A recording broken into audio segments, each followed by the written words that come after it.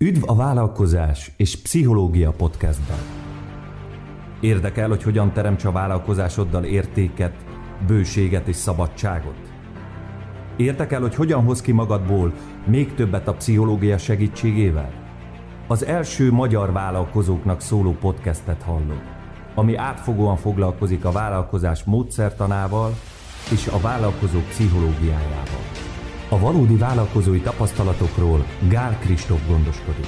A műsor másik házigazdája Bíró Bence Péter, aki a pszichológiai hátteret szolgáltatja.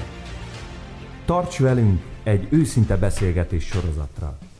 Sok szeretettel köszöntünk benneteket, kedves hallgatók, a Vállalkozás és Pszichológia Podcastben. Az én nevem Bíró Bence Péter, és itt van velem Gál Kristóf és rendhagyó módon ez itt az első olyan podcast felvételünk, amikor nem találkozunk személyesen. Hogyha valaki ezt a podcastet évekkel később hallgatja vissza, akkor azért is ilyen különleges most ez a hangvétel, meg a témáink egy része is, mert hogy most van éppen a koronavírus jelenségnek egy, egy hát azt mondhatjuk még, hogy egy intenzív szakasza, 2020. május 1-én veszük fel ezt az adást éppen. És ebben az adásban én hoztam 10 darab pszichológiai erőforrást arra az esetre, hogyha valakit ez a helyzet valamennyire is megterhelne. Én azt gondolom, hogy ezzel azért vagyunk egy páran, hoztam a tudomány világából elég sok mindent, meg néhány személyes történetet, és azt gondolom, hogy ez sok embernek hasznos lesz, és nagyon örülök neki, hogy Kristóf ez teljesen másik nézőpontból te és hozzá tudsz ezekhez szólni, elmondod a véleményedet, esetleg az ellenvéleményedet, és ki tudod egészíteni ezeket, amiket összeírtam. Úgyhogy én el is kezdeném ezt a listát. Bocsánat, és, lehet egy ilyen... Persze. Csak egy ilyen érdekesség, a, ha már így a, a, az, az utókorra megjegyezted, akkor ugye most május 1 van, pontosan 14 évvel ezelőtt, 2006. május 1-én uh, írtam az első blogposztomat.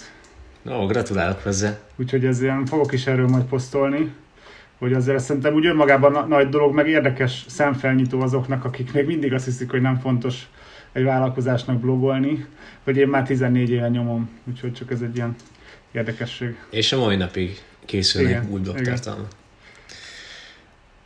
Akkor vissza is térek ez a témához, csak néhány jó ötlet is eszembe jutott ezekre, amiket most mondtál. Um, akkor az első dolog, amit én felhoznék itt, az a rugalmasság lenne, ami nagyon-nagyon fontos ilyen helyzetekben. Ugye a pszichológiai körökben azt mondják, hogy ha az embernek vannak furcsa szokásai, vagy esetleg furcsa gondolatai általában, az nem biztos, hogy baj, akkor kezdődik igazán a probléma, hogyha rugalmatlanná válik ez. Tegyük fel, hogyha valaki mondjuk perfekcionista, és nem képes arra, hogy mondjuk egy, egy blogcikk elégedett legyen, igazából ezzel nem feltétlenül van baj, ameddig teljesen rugalmatlanná nem válik, és mondjuk egyáltalán nem rak egyetlen blogcikket sem, mert ez nem tökéletes. Most nekem személyes példa szempontjából azért is hoztam fel ezt a témát, mert csináltam most egy nagyobb elemzést a saját vállalkozásommal kapcsolatban, és alapvetően az én elsőleges fókuszomat körülbelül olyan 90%-ban a YouTube-ra tettem, a legtöbb tartalmat ott gyártottam le. És abban bíztam, hogy hát a videók azok a jövőt szimbolizálják, az emberek a célközönségemből ott fogják nézni a legtöbben, ott én leszek az első, és így tovább. De most az elemzésemben így rájöttem arra, hogy, hogy igazából gyakorlatilag az én célközönségem elsősorban írásos blogposztokat fogyaszt.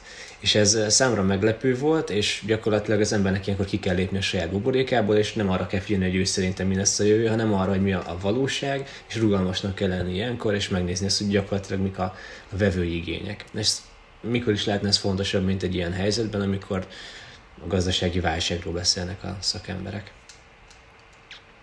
Eszedbe jut elő valami, Kristóf, vagy menjünk a következő Kettő jut eszembe. Az egyik egy blogoláshoz kapcsolódó, a másik az a gyerekneveléshez. A, a blogoláshoz az kapcsolódik, hogy most elkezdtem, ugye egyrészt rugalmasság az, hogy én már az elmúlt években próbáltam bizonyos operatív vagy operatívnak hit dolgokból kiszállni a saját vállalkozásomban. És az egyik ilyen az volt, hogy ki akartam szállni a saját cégem marketingéből. Tehát, hogy már ne én csináljam a saját marketingünket, a mostani eszemmel azt mondom, hogy ez azért volt hiba az én konkrét esetemben, mert az egyik legnagyobb erősségem szerintem az írás, a, az a látásmód, amit én képviselek, a, akár, tehát hogy, hogy egyszerre vagyok valahogy, vagy tudok lenni és ez remélem nem nagy képviség, online marketing szakember, tapasztalt vállalkozó, nagyon érthetően tudást átadó oktató, meg öt könyv szerzője, meg 300 blogbejegyzés írója, stb. És mint ilyen, abszolút hülyeségnek látszik a mosti visszanéző, hogy miért akartam én abba hagyni a, a click marketingben való blogolást, amikor barom jól megy, tökre imádom csinálni, és sikere van. És most visszatértem, újra elkezdtem írásokat csinálni, méghozzá ilyen bástyaposztokat, ami a bástyaposzt azt jelenti, hogy nem egy ilyen posztocska, amit mit tudom én, heti öt poszt kijön, hanem ilyen mega írás. Tehát most a legújabb, amit írtam a, a Facebook posztokról, tehát hogy egy cég hogyan készítsen Facebook posztokat, ez egy 4000 szavas cikk, ez nem tudom, hogy így az a szám mond neked valamit, de az egy brutál hosszú, tehát ez egy, ez egy nagyon, ezt pénzért lehetne szerintem e-bookba adni, hogyha olyanok lennénk. Na és az a lényeg, hogy ezt el, egyrészt ez, ehhez egy rugalmasság kellett, hogy felismerni, hogy nekem most nem az a szerepem, hogy én kiszálljak dolgokból, hanem hogy pont ez, hogy beszálljak. Hogy elkezdtem újra a saját cégem marketingét abszolút a kezembe venni. És ami ennél még egy célzottabb dolog, hogy pont ezt a posztot, amit most említettem, ezt a Facebook posztolásról szólott, ezt úgy engedtem ki, hogy nem csináltam meg az ilyen szokásos, ilyen nagyon aprólékos átnézést, hogy minden elütést megtaláljuk benne, stb mert fontosabbnak tartottam, hogy kimenjen és eljusson az emberekhez. És bizony jött is visszajelzés, hogy hát jó pár ütés van benne, ami amúgy így, így sajnálom meg minden, de hogy oké, okay, majd, majd átnézem és kiavítom őket. És egy hölgy, aki követ engem, meg egy külön a click marketinget is, így azt jelezte vissza, egyébként visszaküldött vagy tíz hibát, hogy ilyen elütéseket itt tök rendes volt, hogy képernyőképekkel, meg minden, és azokat kiavítgattam, és azt jegyezte meg, és ez, ez illik nagyon ide, hogy neki az volt egy baromi jó példa ebbe az egészben, hogy ő most csinálja az új honlapját, és már hónapok óta ilyen a maximalizmusa nem engedi meg, hogy a honlapját beélesítse, mert mindig talál valami hibát, és hogy látja, hogy ha úgymond én, akire úgy felnéz, megmerem tenni, hogy ilyen hibákkal kiengedek egy ilyen blogposztot, akkor most ő mit szüttyög ezen hónapok óta, és hogy miért nem indítja el, aztán majd kijavítgatja. Tehát, hogy ez tényleg ez a jelenség, ez a maximalizmus, ez, ez egy szintig jó, megint a munkatársaimnál is örülök, hogyha maximalisták, de egy szinten túl már bénító, tehát ez, ez, ez szerintem ez egy jó tapasztalat. És a gyereknevelés pedig az a, a rugalmasság, hogy, hogy szoktuk ugye altatni a maximot, a 9 és fél hónapos kisfiunkat, és a, tökre látszik, hogy már el kéne aludni, mert tök fáradt, de de és pont a feleségemmel, a Nussival erről beszélgettünk, hogy uh, ugye az én akaratom az, hogy aludjon el, mert ugye neki is az lenne a jó, meg legalább egy kicsit tudunk pihenni. De hogyha ezt túlzásba visszük a mi akaratunkat, akkor az annyira erős lesz már az, hogy az aludja, aludja feeling, hogy végül az ők is saját akaratát annyira e, lebénítja, hogy végül nem valósul meg az, amit akarunk. És ha egy kicsit rugalmasabbak vagyunk, és hagyjuk, hogy egy kicsit mozogjon felül, kicsit mászkál, és szépen visszahozzuk, szóval nem, nem erőszakoskodunk úgymond vele, hogy most feküdni kell, akkor végül megvalósul a, végül a mi akaratunk is, azon keresztül, hogy kicsit hagytuk őt, hogy az ő akarata is így kijöjjön, és hogy, hogy nem szabad túl merevnek lenni itt se. Úgyhogy ez a két dolog, ami eszembe jutott. Szerintem hasznos példák, és ezt meg tudom erősíteni pszichológiai szempontból is fejlődésileg tanulnak, hogy azért fontos a szülőben az, hogy rugalmas legyen a gyerekével kapcsolatban, szükségletekben, meg akkor, hogyha vannak céljai, ami felé szeretné terelni a gyermeket. És ez pont egy ilyen gyakorlati példa volt ilyenkor is, meg a blogcikkes példa is nekem nagyon-nagyon gyakorlatias volt. És a saját példádból áttérnék a második pontra, ami szerintem szintén ide kapcsolódik. Ez pedig az őszintesség. És ez, én az esetben azért mondanám ezt, hogy ez egy nagyon-nagyon becsülni és tisztelni való dolog, hogy amikor a vállalkozóból vállalkozás brandet építetted, akkor annak az egyik kulcsüzenete az volt, hogy azt hiszem az, hogy három napot dolgozol, és három nap munkával irányítod a, a uh-huh. bizniszedet, ami Igen. nagyon-nagyon komoly vállalkozás. Hát nyilván a szá- relatíve komoly, nekem nagyon komolynak számít, uh-huh. most lehet, hogy mondjuk egy Hát a nagyon, nagyon komolyak között nem olyan komoly, a komolytalanok között, vagy a kevésbé komolyak között meg komolyabb. Igen, szóval ez ilyen minden abszolút. relatív, ugye? Így van, és, és igazából itt, ami szerintem nagyon egy hasznos dolog, az az az őszintesség. Mert ebben az esetben te például vállaltad azt, hogy oké, okay, igazából az embernek nem kell tökéletesnek lenni, az ember hozhat olyan döntéseket, amit később máshogy lát, és te azt mondod, hogy most akkor a click marketingbe helyezed az erőforrásaidat, a fókuszodat, és ott gyarapítod a csapatot, és ott gyarapítod a blogcikkeket, értéket gyártasz ott. És én is hoznék egy személyes példát ezzel kapcsolatban, amikor én elkezdtem foglalkozni ezzel az egész önfejlesztéssel, hogyha valaki nem ismer engem, én coachinggal foglalkozom, 2014 óta tartok előadásokat, akkor nekem volt egy ilyen fajta élményem, hogy ebben az ilyen coach, motivátor, önfejlesztő tréner világában azért ritkán lehetett azt látni, akkoriban főleg, hogy ez, nem, hogy ez egy, egy motivációs tréner mondjuk rosszul érzi magát. És akkor abban a közegben mindig mindenki jól volt, legalábbis ezt mutatta, és hogy nekem azért jó párszor volt olyan, hogy nem éreztem igazából jól magam, és amikor egy ilyen közegben voltunk, azt éreztem, hogy hát nekem is azt kell mondani, hogy hát igazából minden rendben van, minden, minden nagyon-nagyon király, minden szuper, és hogy ez egyrészt teremtett kettőnk között egy távolságot, akárkivel is találkoztam, másrészt pedig nekem egy ilyen belső feszültséget azzal kapcsolatban, hogy én valójában nem ezt, tehát nem csak azt érzem, hogy most minden szuper. Tehát most ebben a válsághelyzetben is azt lehet mondani, hogy valakivel beszélgetünk, akkor mondjuk megkérdezi, hogy hogy vagyok, akkor azért általában, hogyha vagyunk olyan közeli viszonyban, akkor elmondom azt, hogyha még tudom én, ez most éppen megterhelő számomra, akár érzelmileg, akár gazdaságilag, vagy más szempontból, és ezekről lehet így, így kommunikálni. Nemrég például készítettünk egy, egy, egy videóadást Tudis Dénessel, aki függőségekkel küzdő embereknek segít, többek között drogos, vagy drog, droghasználóknak, alkoholhasználóknak, és így tovább.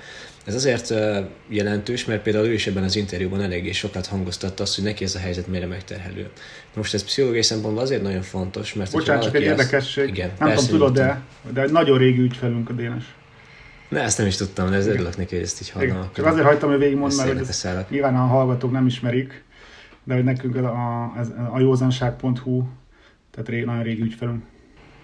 Na hát ennek örülök, és hogy igazából ő is pont említette a podcastjában, hogy ez, ez neki most egy megterhelő időszak, és ez ugye pszichológiai szempontból azért nagyon hasznos, mert hogyha az ember azt hiszi, hogy egyedül van, akkor minden egyes kívással nehezebben tud megküzdeni. És önmagában, hogyha kívül is kívások vannak, akkor jobb, hogyha belül nem teremtünk magunknak felesleges plusz feszültséget, és ezért hasznos lehet időnként megnyílni azoknak az embereknek, akár a sebezhetőségeinkkel kapcsolatban, akkor, amikor um, nehezebb időszakok vannak. És mindjárt átadom neked a szót, csak még egy, egy személyes történetet szeretnék neked el, vagy elmesélni, meg a hallgatóknak is, hogy amikor én kisgyerek voltam, akkor mondjuk, hogyha nem tudtam kinyitni egy ilyen palackot, egy, tudom, egy kólás üveget, vagy egy chipset, vagy valamit, akkor nekem édesapám mindig azt mondta, hogy gyengébb ember éhen hal. Tehát, hogy ezt igazából poénból mondta nekem olyankor, de nagyon-nagyon sokszor elmondta, és azt gondolom, hogy ez nem egyedülálló hozzáállás, egyedülálló fajta félelem így a, az emberekben, hogyha gyengeségeket megmutatnak, akkor abból problémák lesznek. Úgyhogy én, én arra bátorítanám az embereket, hogy legyen egy ilyen megbízható kör, ahol őszinték tudnak lenni, és ezekkel az érzéseikkel kapcsolatban magukkal és másokkal is őszintéknek tudnak maradni. Úgyhogy én át is adom neked a szó, biztos gondolatébresztő számodra is. Igen, erre az utolsó gondolatodra szintén Maximmal reflektálnék, vagy a, a kisúnak az esetével, hogy ugye nagyon sok ilyen van, hogy amit mondanak mondjuk, hogy a, hogy a, a fiúk nem sírnak, nagy erős fiú vagy, izé, tehát ez, programozzák arra, hogy gáz az, hogyha valami bajod van, és én kifejezetten próbálok arra figyelni, mert hiszek is ebben, meg hogy nem akarom ezt úgymond nem akarom elrontani a gyereket, vagy, vagy, vagy olyan ilyen képzeteket vagy fóbiákat belenevelni. Tehát, ha például sír valami, ugye még nagyon pici, de hogyha sír valami miatt, akkor én mindig azt mondom neki, hogy ezzel nyugodt, persze fájna, én is sírnék, nyugodtan sír, nem, nem gond ez, hogyha valami bajod van, tehát próbálok erre figyelni. Tágabb értelemben pedig az őszintesség, hát nekem, a, nekem nagyon fontos téma az őszintesség, ugye a, a click marketing értékrendszerében is kimondottan a top három értékünk a proaktivitás, a lényeglátás és az őszintesség. És pont nemrég írtam van egy ilyen, nem, nem tudom, ezt olvasod-e, esetleg a figyelmetbe ajánlom, ha nem, a click marketing színeibe elkezdtem egy, egy új sorozatot, hogy a click marketing hírlevél listáján csinálok egy olyat most, hogy vezetői levelek, és ezt minden vasárnap küldöm a, a click marketing listájára, és ez kifejezetten nem online marketing alapvetően, hanem az én gondolataim, ilyen akár spirituális, akár tök már vezető, tehát ilyen vezetői témák, most már hiszem a nyolcadik vagy hetedik volt, és az egyikben kifejezetten az volt azt hiszem a tárcsora, hogy ez egy őszinte levél, és a, a pont az őszintességről írtam, illetve az előző, a múlt hetében arról írtam, hogy passzus, semmi témám nincs. Elkezdtem ezt a háromszor megírni a mai vezetői levelet, és egyszerűen nagyon erőltetetnek éreztem, és most ebben, most ebben nem lesz semmi. És végül ezen a nyomvonal elindultam, és az egyik legjobb levél lett, és visszajeleztek renget, jó páran, hogy ö, tökre átjött, hogy ezt tényleg nem akartam végül már írni, mert hogy nem akartam erőltetetten, de hogy ebből egy olyan gondolatsor tud. Tehát, hogy azzal, hogy elengedtem azt, hogy oké, okay, nem vagyok tökéletes, ez most nem fog sikerülni, ebből kijött végül is egy jó gondolatsor. És szerintem az őszintesség talán a legfontosabb ága az nem is az, hogy most nem hazudunk, mert hogy ez a, ez a level egy, hogy nem hazudunk, hanem az, hogy magunkkal vagyunk őszinték, hogy szembe merünk nézni azzal, hogyha valami akár nem sikerül, vagy ha nem vagy tökéletes, vagy bizonyos tulajdonságok, vagy nekem az volt 2016-ban egy ilyen nagyon nagy őszintesség transformáció, hogy én azért nem vagyok olyan jó vállalkozó, mint gondoltam, vagy nem vagyok olyan jó vezető, mint gondoltam, vagy hogy valamit nem csinálok jól, hazugság azt mondani, hogy ez rendben van, hazugság azt mondani, hogy rendben van egy közel 20 fős céggel, hogy nem tudom, 400 ezer forintot keresek, tehát hogy ilyen, ezeket így kimertem mondani, és a, ahogy Brandon Bouchard mondja, aki egyik kedvenc ilyen coachum, akit követek, hogy az őszinteséget következő szintje, az az eredményeid következő szintje.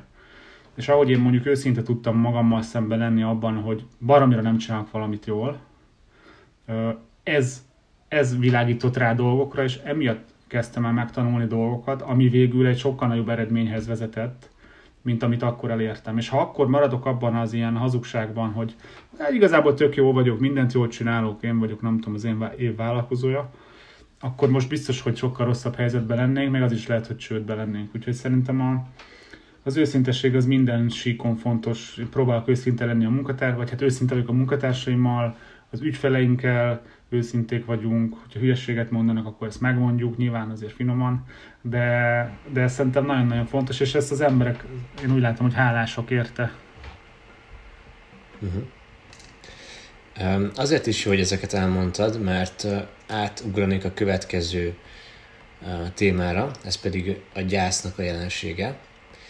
Ez pedig azért érdemes téma, hogy beszéljünk róla, mert alapvetően én azt látom, hogy nem csak a, ebben a motivációs közegben, de azért meg a vállalkozói közegben is azért uralkodik egyfajta általános ilyen pozitív hozzáállás, ami nagyon-nagyon hasznos. Erről beszélni is fogunk, hogy mennyire hasznos a pozitív hozzáállás. Viszont amiről nem annyira sok szó esik, ez pedig a, a, a korlátoknak az elfogadása, a hibáknak a feldolgozása, a, az elveszett vízióknak a, az elgyászolása. Hogy mit is jelent ez, és hogy pontosan miért is mondom ezt. Amikor valaki elveszíti egy családtagját, nekünk is volt a, a közelmúltban ilyen, akkor el, elkezdődik egy ilyen gyász folyamat, aminek megvannak a fázisai, amin az ember keresztül megy. Igazából akkor tud lezárulni egy ilyen folyamat, amikor az ember átment azon a fajta belső munkán, amikor átélte ezt a fajta szomorúságot, és a végén elfogadta a jelen helyzetet.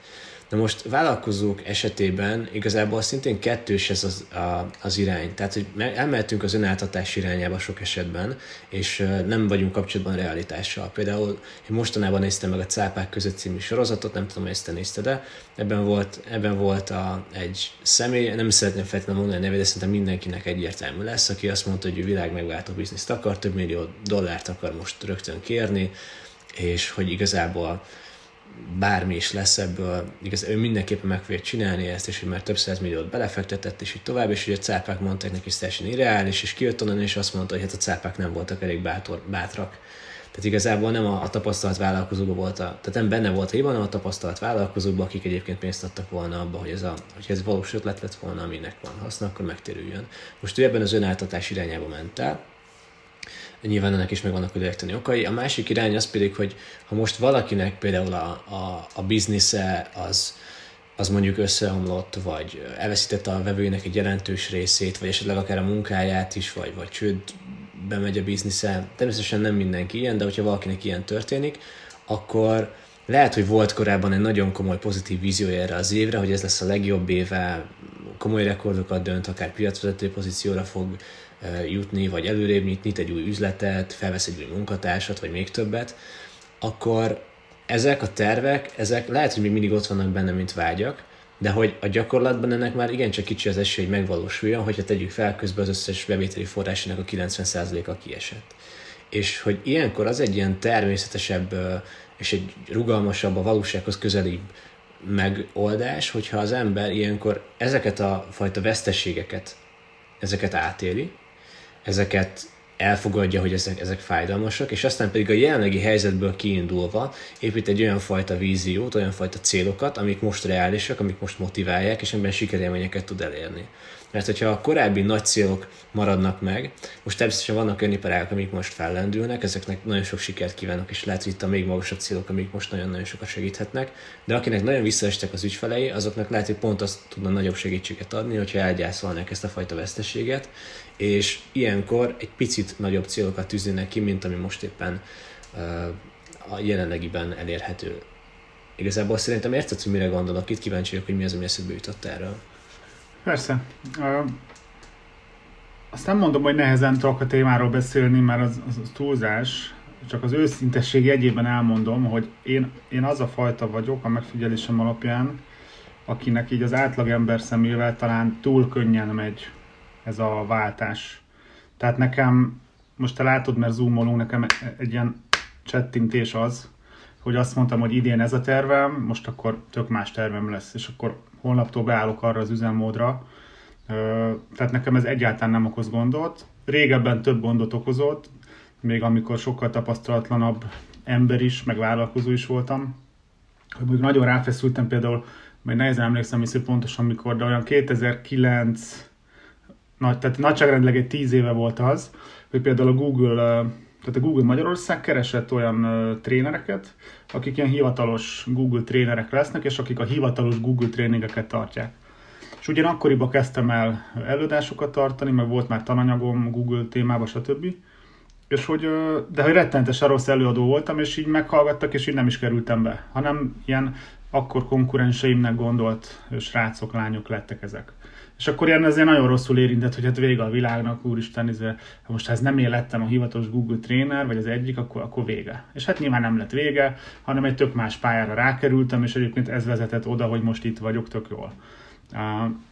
De akkor is mondjuk ez pár hét volt. Tehát nekem ezzel nincs, nincs igazi tapasztalati ilyen tudásom, hogy ez milyen nehéz, de látom, hogy milyen nehéz másoknak, és most akár egy ilyen koronavírus helyzet kapcsán, például Nusin a feleségemmel látom, hogy mennyire nehezen viseli ő ezt, hogy most nem lehet kimenni, sétálni. Tehát, hogy megváltozott a helyzet, és hogy el kell engedni akár nyaralás, akár egyéb terveket, és ez egy kicsit szerintem az, amire, amiről itt beszélünk, hogy, hogy egy, egy, egy, el kell engedni azt, amit akartunk, és van egy új helyzet. Nekem ez ugyanígy ennyi volt, oké, most akkor nem megyünk sehova. És akkor átálltam ebbe az üzemmódba, ez szerintem egy fontos vállalkozói tulajdonság, ez, a, ez, a, ez, a, ez, ez is egy rugalmasság valahol. Ugye van ez a, nekem nagyon tetszik az a mondás, hogy ami nem hajlik, az törik. Ezt még egyébként ilyen harcművészet kapcsán tanultam, hogy ott is nem az a lényeg, hogy beleállj mindenbe, és hogy üssék a fejedbe te vagy a kőkemény, hanem hogy legyél rugalmas, és uh, lehet, hogy egy kemény bot, az simán eltörik, pedig ugye hagyományosabb értelemben erősebb, mint mondjuk egy nád, vagy egy, vagy, vagy egy olyan, ami hajlik. Tehát egy sokkal gyengébb anyag, ami hajlékony, az jobb túlélő lehet. Úgyhogy hát nem tudom, most mondtam-e valamit, de nekem ezek, ezek jutottak eszembe erről. Igen, abszolút. Azoknak, akiknek esetleg egy picit nehezebb ez az időszak, egy, egy másik erőforrás, ez pedig az, hogyha a helyzetben találunk egy, egy értelmet. Na most, hogyha valaki most ezt hallja, akkor lehet, hogy nehezen talál benne értelmet, hogy jó, hát most miért jó az, hogyha mit tudom én, elmentek, el, el kellett küldeni a munkatársaim jelentős részét, akikkel nagyon szoros kapcsolatom volt, visszaesett a bevételem, stb. stb. esetleg adósságok vannak. Tehát, hogy ez miért jó, mi benne az értelem. És nekem nagyon sokat segített az egyik eh, asztrológus barátomnak a hozzáállása és a gondolatai, ami pedig úgy szól, hogy az emberi élet az lényegében arra van, hogy bizonyos emberi értékeket kibontakoztathassunk. És amikor nehézségek érnek minket, az azért történik velünk, az ő elmondása szerint, mert ilyenkor valamiféle értékeket megfejlődhetünk. Lehet ez mondjuk az alázatosság, lehet ez mondjuk az empátiának a kifejlesztése, lehet az őszinteség önmagunkkal szemben, lehet egyfajta konstruktívabb hozzáállás, lehet egyfajta biz, nagyobb bizalom kialakítása így az emberekben, vagy másokban, vagy, a, vagy az, az egész életnek a működésében. Nyilván ezt nem nekem kell megmondani, hogy ennek az adott embernek, aki ezt most így hallgatja és értelmet keres az életében, vagy ebben a helyzetben, mi legyen az ő személyes értelme, ezt ő fogja megtalálni, és nem is azt mondom, hogy biztos, hogy így működik az egész univerzum, és hogy ennek az embernek biztosan igaza volt, abban viszont szerintem igaza van, hogyha az ember így tekint nehezebb helyzetekre, ami számára nehezebb, az egy erőforrás nyújtott számára, és nem azt érzi, hogy fölöslegesen történnek problémák, hanem ez egy lehetőség valamilyen jó dolog elérésére. Nekünk például, tehát e- ehhez nagyon tudok kapcsolódni. Én az, szinte az első perctől ezt mondom a munkatársaimnak is. Ugye nagyon fontos egy ilyen helyzetben, főleg, hogy azonnal home office-ba kerültünk szinte, hogy, hogy a munkatársakkal sokkal jobban kell törődni esetleg, mint eddig, főleg ha eddig valaki nem törődött a munkatársaival. És az első percben azt kezdtem kommunikálni, hogy, hogy azt nem tudom még pontosan megmondani, hogy hogy, de ebből, hogy mi jól fogunk kijönni, az száz. És most már ugye eltelt néhány hét, és már látom azt is, hogy miért fogunk jól kijönni, és ezek szerintem erről beszélünk most nagyjából. Az egyik, ami nekünk egy óriási nyereség, hogy megtettem olyan dolgokat például a marketingünkben, amit békeidőben nem tettem volna meg. Elkezdtem nagyon intenzíven blogolni, e, nagyon rendbe tettük a saját hirdetéseinket, nagyon rendbe tettük az e-mail marketingünket, a közösségi média kommunikációnkat. Tehát, hogy ugye az egész online marketingünket felpörgettük, mert ez egy külső kényszer rákényszerített minket. Hónapok óta, vagy majdnem évek óta ezt én, hogy jaj, de jó ezt megcsinálni, meg hú. De mivel úgy megyegetett a szekér, ezért úgy voltunk vele, hogy majd ráér az még és azért nyilván minket is érintett, egy jó pár ügyfelt elvesztettünk hirtelen, és ezért nagyon gyorsan fel kellett pörögni, és fel is pörögtünk, és ez a, ezt a pörgést meg is akarom tartani. Tehát ez egy óriási nyereség. Aztán egy óriási nyereség az, hogy a pénzügyeinket helyre tettük. Tehát, hogy nagyon sok helyen pazarlás volt a cégben, felesleges költségeknek a, a, a tárháza, ezeket abszolút helyre tettem, Nyilván ezek már, ezek a felesleges költségek, ezek már meg vannak spórolva, ez mostantól nem, nem fogunk bizonyos dolgokra költeni, amire nem kell. Szóval racionalizáltunk rengeteg költségelemet, illetve az a szemlélet belém égett, hogy, hogy a jövőben is jöhetnek olyan költségtételek, amik egy ilyen pazarló, hogy ez a van pénz lóvéra típusú gondolkodás, hogy persze költsünk el és arra is. Tehát a szemlélet belém égett. Tehát lett egy ilyen egyszeri költségmegvágás, és ez nem spórolást jelent, ami nekem egy ilyen veszőparipám, hogy nem spórolni kell, hanem nem kell pazarolni. És most rengeteg pazarlást levágtam, és a jövőbeni pazarlást már nem fogom újra engedni. Igen, ez nagyon látszik, hogy ilyen válságos helyzetekben, tehát a, akkor 2016-ban volt nekem a nagy ilyen HR HR válságom, hogy rengeteg munkatárs ott hagyta a céget így gyorsan, tehát egy év alatt, mit hiszem, kilenc ember mondott fel. Ott nagyon-nagyon megtanultam azt, hogy hogy kell bánni a munkatársakkal, meg hogy kell kiválasztani, és a többi, tehát belém égett. Most például ez ég belém, hogy pénzügyi tudatosság, illetve az, hogy a marketinget mennyire nem szabad félváról venni, akkor se, ha amúgy éppen jól megy. Tehát nekünk ezek a nagy nyerességeink, illetve még azok, hogy a munkatársi csapatunk tulajdonképpen jobban összekovácsolódott, annak ellenére, hogy alig találkozunk, vagy egyáltalán találkozunk személyesen. De például minden nap van Zoom hívásunk, minden nap, vagy hát majdnem minden nap egy, egy fél órát így együtt vagyunk, amire eddig, ami eddig ugye nem volt békeidőben. Tehát abszolút ezt tényleg én is képes vagyok úgy látni, hogy vannak ebben nyilván rossz dolgok ebben a válsághelyzetben, sok cég nagyon rossz helyzetbe került, meg, meg hasonlók. Erre nem kell azt mondani, hogy ezek jó dolgok. Tehát, hogy a pozitív szemlélet nem azt jelenti, hogy a rossz dolgokra azt mondjuk, hogy jók, hanem azt mondjuk, hogy megpróbáljuk megtalálni a jót. Tehát, hogy ugyanazt nézzük, hagyományosan azt mondhatjuk, hogy fú, ez rossz, de hogy van jó oldala is. Úgyhogy ez, ez mindenkinek ajánlom ezt a szemletet.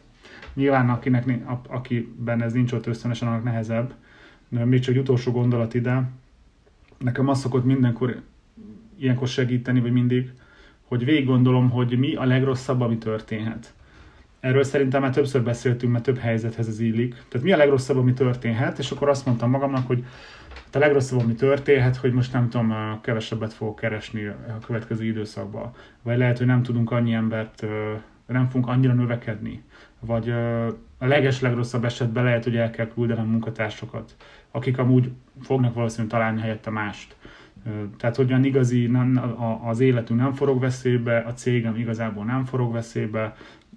Nyilván akinek mondjuk olyan biznisze van, amit sokkal jobban érintett, mint minket, ugye az online marketing témát, hogyha nem vagyunk nagyon bénák, akkor szinte jól érintette a téma, hiszen nagyon felpörög most ez, de akinek, akit nagyon rosszul érintett, ő is csinálhat igazából mást. Tehát itt, itt max az egónk sérülhet, hogy eddig vállalkozó voltam, és most pizzafutárnak kell lennem fél évig, de hogy azért a nagy tragédia szerintem senkivel nem történhet, akinek mondjuk az egészségét vagy ilyesmit nem érinti, tehát hogy ilyen gazdasági értelemben.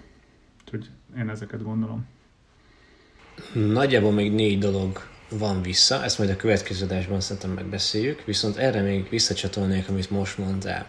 Én alapvetően, hogyha valaki hallgatta a korábbi adásainkat, egy olyan ember vagyok, akinek személyiség szempontból nézzük, akkor a nyitottság dimenzió az elég magas, tehát hogy elég sokféle tudok elképzelni, és eléggé képes vagyok a dobozon kívül gondolkodni.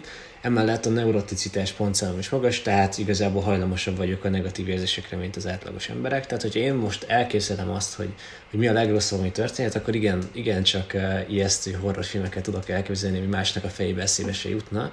De ami viszont nekem is nagyon-nagyon hasznos, amit most elmondtál, ez pedig az, hogy ha valakinek mondjuk volt egy vállalkozása, és utána pizzafutárnak kell lennie fél évig, Na ez a, ez, a, ez a kulcs, hogy csak fél évig. Tehát, hogyha most esetleg valakinek összeomlik a biznisze, akkor gyakorlatilag még nincs vége az életének, hanem fél év múlva lehet, hogy újra tudja kezdeni a vállalkozását. Vagy ha nem a vállalkozását, akkor azzal a tudással, ami van neki, az, mit tudom én, öt év múlva, hogyha esetleg elmúlt a válság, vagy nem tudom, akkor egy nagy érték lehet az ő számára. Szóval azt tudnám mondani, hogy amit most elmondtál, és az ember így belegondol ebbe, akkor láthatja azt, hogy ha nehézségek is vannak, ez egy ideiglenes dolog. És hogy igazából nem is kell tenni semmit azért, hogy ez, hogy ez gyakorlatilag a, a külső gazdasági helyzet megváltozzon, hiszen idővel ez változni fog. A nehézség idővel változnak, és ezt nem is nekünk kell megoldani. Tehát ebben még csak nem is vagyunk felelősek.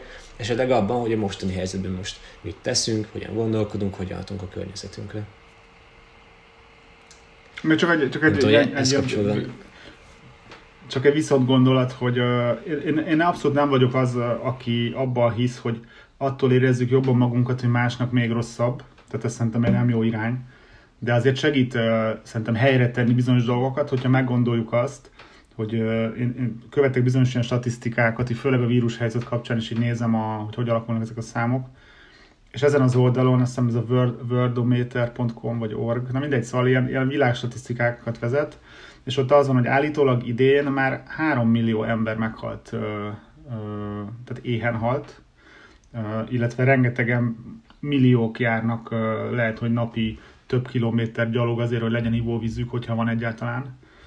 És ö, egyszer nemrég posztoltam erről, hogy, hogy amennyiben ez igaz, és hát nyilván sajnos igaz, mi pedig közben még mindig ivóvízzel öblítjük a WC-t, meg még mindig kocsival megyünk az Aldiba, hogy ne kelljen cipekedni hazafele, hogy amíg ez igaz, addig nem kell olyan nagyon rossz, tehát hogy Szóval nincs okunk a panaszra. Azt hiszem, hogy amíg, amíg ezek a tények egyszerre vannak jelen a világban, hogy milliók halnak éhen, nekünk meg az, az a legnagyobb bajunk, hogy mondjuk nem tudunk lehet nyaralni menni, vagy nem tudunk elmenni étterembe. Nem azt mondom, hogy mindenkinek ez a baja, csak hogy ezek itt segítenek ezt helyre tenni, hogy vajon mennyire egy, egy nagyon nagy mondjuk gazdasági válsághelyzetben is ilyen gazdasági értelemben mi a legrosszabb szint, amire mi lekerülhetünk itt, itt a Kárpát-medence közepén, szóval nem valószínű, hogy az éhhalál fog itt bárkit fenyegetni.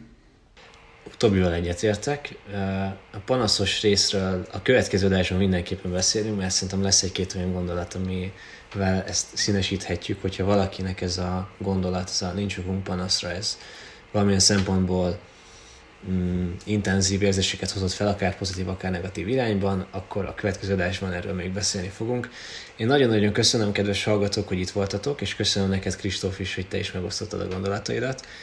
Úgy gondolom, hogy ez egy, egy nagyon őszinte beszélgetés lehetett, és bízom benne, hogy azok, akik ezt hallgatták, azok kaptak némi erőforrást. A következő adásban négy további pszichológiai eszközt fogunk kivesézni, amik hasznosak lehetnek nekünk, és így kérem, hogy ezek már egy fokkal pozitívabbak lesznek, mint a most említett gyász, és eh, az erő, nehézségeknek a felvállalás, és így tovább. A következő az már szórakoztatóbb is lesz. Úgyhogy köszönöm, hogy itt voltatok, további szép napot kívánok nektek, és két hét múlva felkerül a következő adás. Sziasztok! Sziasztok, sziasztok!